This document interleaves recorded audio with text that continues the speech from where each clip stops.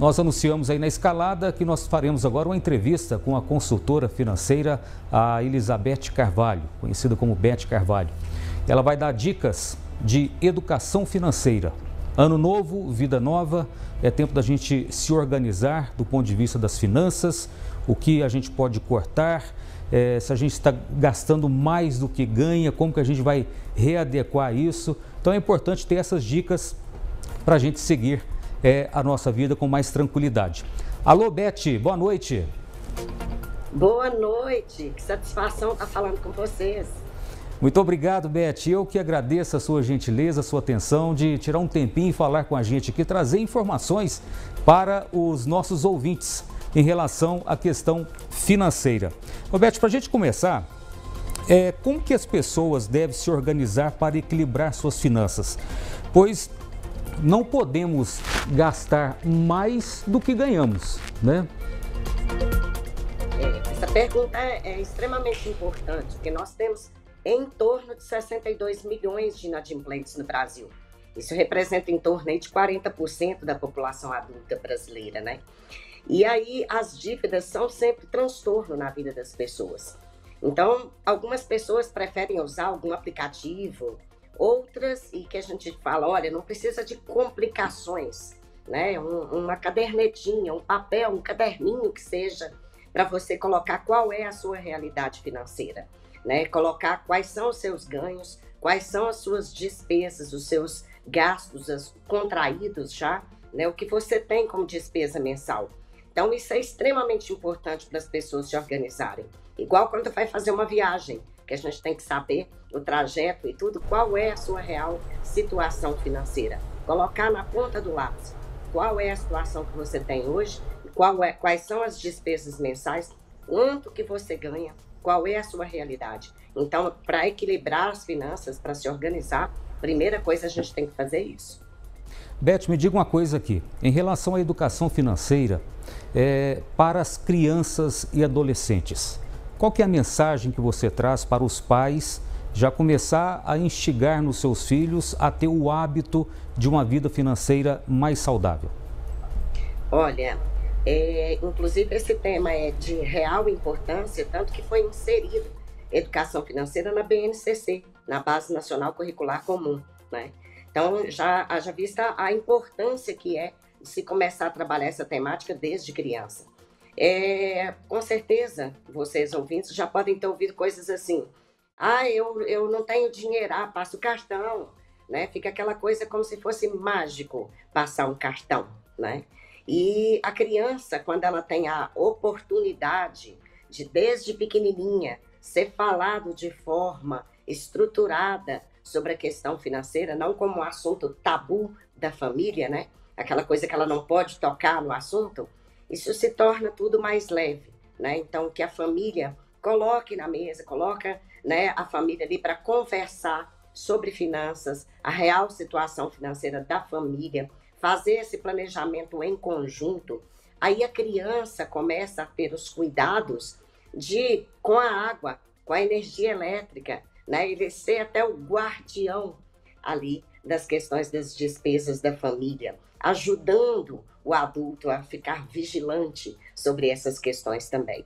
Então, isso é extremamente importante, desde criança, falar desse assunto, é, trazer de uma forma mais leve, para que não fique aquele assunto tabu para a família, né? Por exemplo, tem um celular que está em evidência. Várias pessoas estão comprando esse aparelho de celular e outras pessoas vão atrás, né? O efeito manada. E pode ter consequências futuras, porque nem sempre todas as pessoas é, podem ter as condições que outras têm.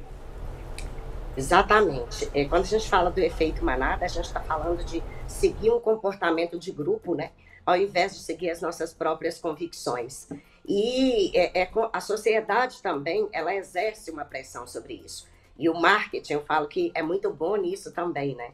Então, nós temos que estar tá claro o que é que realmente a gente quer né, fazer com os nossos recursos, quais são os sonhos da família, quais são as prioridades, o que nós queremos realmente realizar, para a gente não se perder aí nesse efeito manada, né? Porque isso ocorre demais. Tá todo mundo comprando esse, esse celular. Ah, eu também vou, tenho que trocar.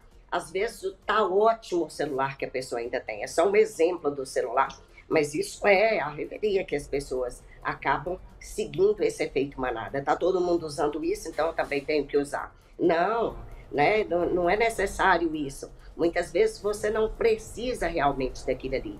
Então, segue as suas prioridades, o que tem estabelecido, né, da, da, do, do, do, digamos assim, para o seu planejamento financeiro, seu e da família, né, é, não deixando, né, o, digamos assim, o efeito do marketing, né, esse efeito manada passar por cima de tudo isso.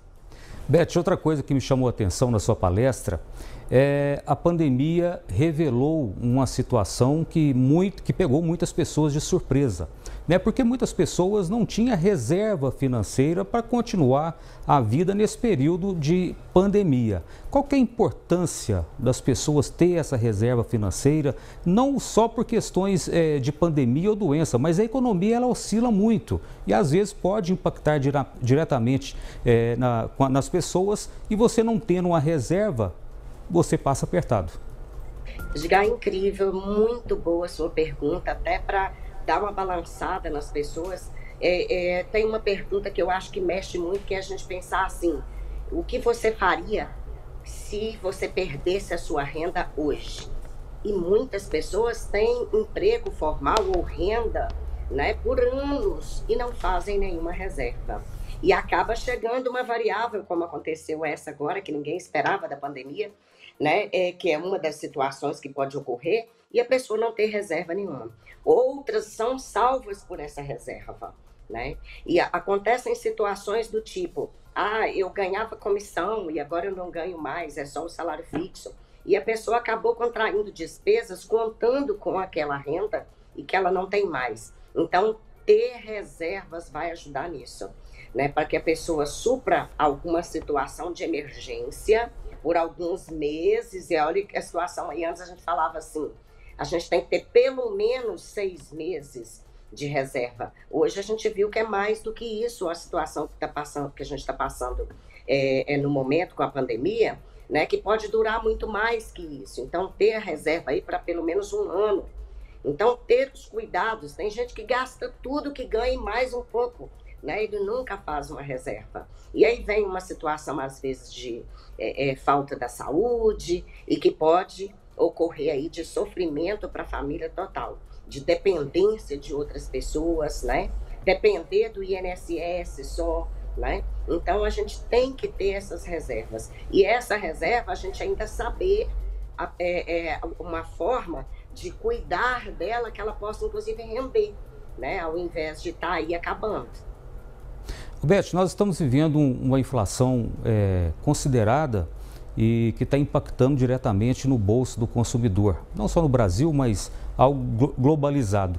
É, do ponto de vista da pessoa, a dona de casa que está nos ouvindo agora, quando ela vai ao supermercado, ela não compra às vezes o que ela comprava antes com 100 reais.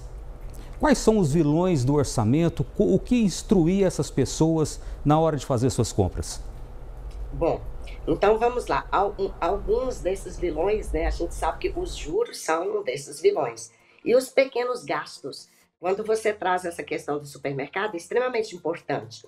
As pessoas vão ao supermercado, a grande maioria, sem levar a lista do que realmente ela precisa. E ali ela já se perde.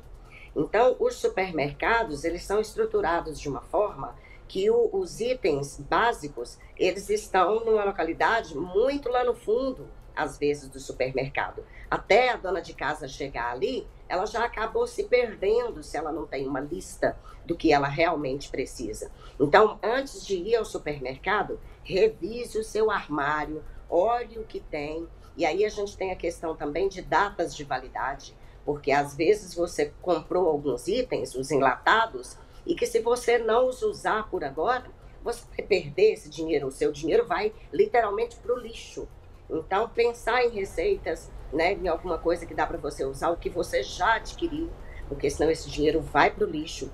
Ter os cuidados também, quando a gente traz essa questão da, da economia doméstica, né, dos supermercados, que de substituir alguns itens, né, que, que às vezes está ali na, na época daquele fruto, você vai conseguir comprar mais em conta E aí você vai substituir, não vai pegar aqueles que você está comprando, que às vezes tá, tá para chegar ali no mercado foi muito mais dispendioso para o produtor e isso vai estar tá custando muito mais. Então substitua isso, espera né, a época daquele fruto para poder trazê-lo novamente, né? E, e, você não perde com qualidade para isso ali da, da, da, digamos assim, do, do, almoço da família, das refeições da família. Substitui esses itens porque a dona de casa ela é muito criativa e ela vai saber e conseguir fazer isso né, com uma expertise incrível.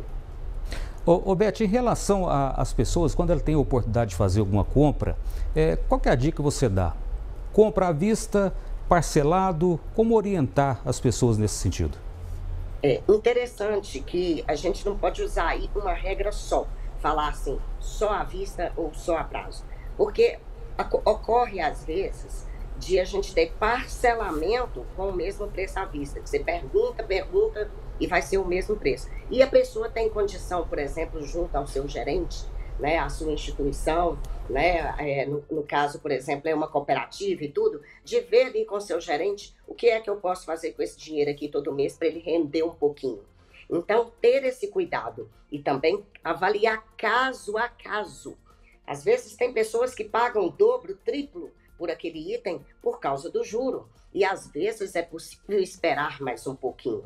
Ele economiza, economiza, e aí ele consegue ir lá e pagar 50% daquele valor para ele pagar menos juros. Então tá aí também essa questão de um dos vilões serem os juros, como você é, perguntou antes, né?